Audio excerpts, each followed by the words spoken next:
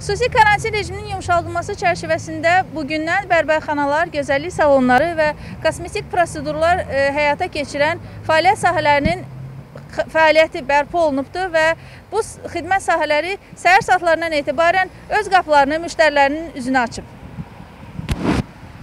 Xidmət sahələrində koronavirus infeksiyasının yayılmasının qarşısını alınması məqsədi ilə həyata keçirilən tədbirlər çərçivəsində bu sahələrdə xüsusi qaydalar təsdiqlənib. Bərbərlik və gözəllik salonlarının xidmətlərindən yararlanmaq istəyənlər mütləq onlayn növbəyə yazılmalı, işçi heyətin müvafiq geyimlərlə təmin olunmasına nəzarət olunmalıdır. O cümlədən salon və bərbərxana əməkdaşlarının və müştərilərin tibbi maskadan istifadəsi məcburidir. Mütəxəssislər koronavirus infeksiyasının yayılmasına qarşı yönəlmiş preventiv tədbirlərin önəmli olduğunu deyir. Ora gələn insanlar əgər çox adam toplaşırsa həmin gözəllik salonunda, həmin bərbərxanada, orada yaxşı olar ki, bir qədər fasiləni gözləsinlər, çoxlu insan toplaşmasın. Bərbərxanada ya gözəllik salonunda yalnız e, kim müraciət edib onlar olsun. Bu işlə məşğul olan ustalar bilavasitə onlarla yaxın məsafədə olmaları tələb olunur. Çünki bu artıq yaxın birbaşa təmas yolu ilə bunlar iş görürlər. Buna görə də yaxşı olar ki, həm həm bərbərlərin özləri, həm də ə, demək ə, onlar müştəriləri maskalardan istifadə eləsinlər. Xidmət sahələrində təlimatlara əsasən mütəmadi dezinfeksiya edici vasitələrlə təmini, dezinfeksiya işləri planlı şəkildə həyata keçirilməsi və havalandırılma önəmlidir. İşçilərin şəxsi gigiyena qaydalarına riayət etmələrinə nəzarət gücləndirilməlidir. Mütəxəssislər hesab edir ki, ictimai yerlərdə ortaq istifadə edilən səthlərin mütəmadi təmizlənməsi və dezinfeksiya edilməsi xəstəliyə yoluxma riskini azaldır. Qaldı yaşayış obyektlərində dezinfeksiya işləri. Adətən həmişə aparılır dezinfeksiya işləri, vaxtaşı sanitar günlər keçirilib. İndi də biraz tez-tez aparsınlar yaşayış obyektlərində. Təbii ki, burada vaxtaşı heç olmasa ən azı həftədə bir dəfə ya hər gün olsa daha yaxşı olar. Özləri apara biləcəklərsə hər gün o stollardır, stullardır, döşəmədir və digər ə, hansı ki sahələr var, onların dezinfektantlarla işlənməsi çox vacibdir. Lazım deyil ki, ora kimisə dəvət eləyəsiniz, o demək o mexaniki üsulla tə, bunu həyata keçirsin, avtomatlaşdırmış. Belə özünüz də həyata keçirə bilərsiniz. Yəni bu da çox önəmlidir. Çünki orada toplaşmış qala biləcək ə, törədicilərin, virusların məhvinə aparıb çıxarır. Bu da yoluxma ehtimalını aşağı salır.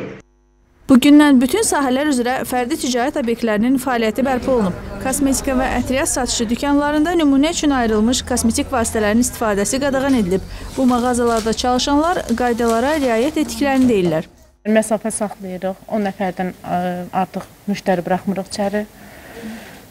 Belə qaydalara riayət edirik. Dezinfeksiya edici antibakterial gellərimiz var, onlardan istifadə alırlar. Ən çox sabunlarımız var. Onlardan ə, istifadə olurlar, yəni onlardan alırlar. Qaydalarda geyim mağazalarında alıcıların və işçi heyətin davranışları da yer alıb. Dəyişmə otaqlarından istifadə qadağan olunub. Karantin rejiminin yumşalmasından sonra küçələrdə ictimai nəqliyyatda insanların sayı artdıqca yoluxma təhlükəsi də yüksəlir. Hüquq mühafizə orqanları insanların icazəsiz küçəyə çıxmasına nəzarəti davam etdirir. Xüsusi karantin rejimi dövründə təkcə öntəl sutka ərzində 1049 nəfər inzibati məsuliyyətə cəlb olunubdur və gör, arxada gördüyünüz kimi şəhərdə qurulan, şəhərin ən gür nöqtələrində qurulan postlarda insanlar yoxlanılır və onlardan küçəyə çıxma səbəbləri soruşulur. Bakı şəhər Baş Polis İdarəsi iş icazəsi olan bəzi şəxslərin sui-istifadə halları kimi neqativ hallara rast gəlindiyini açıqlayıb.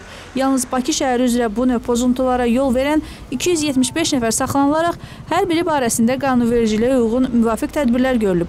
Polis zərurət yaranmadıqda hər bir şəxsdən ciddi səbəb olmadan evdən çıxmamalarını tövsiyə edir. Mən dərman götürməyə gəlmişdim o işə görə, yəni icazə. Çörə də ancaq çörək almağa çıxaram mağazinə. Elə bundan da bir də dərman almağa ayda bir dəfə çıxıram beləsi. Evdə qalıram, yəni heç hara işə gücə heç hara getmirəm. 2 aydır heç qapıdan çölə çıxmamışam. Bircə bu gün dərman almağa gedirəm. Vəssalam. Evdə otursunlar, evdən çıxmasınlar. Bəli.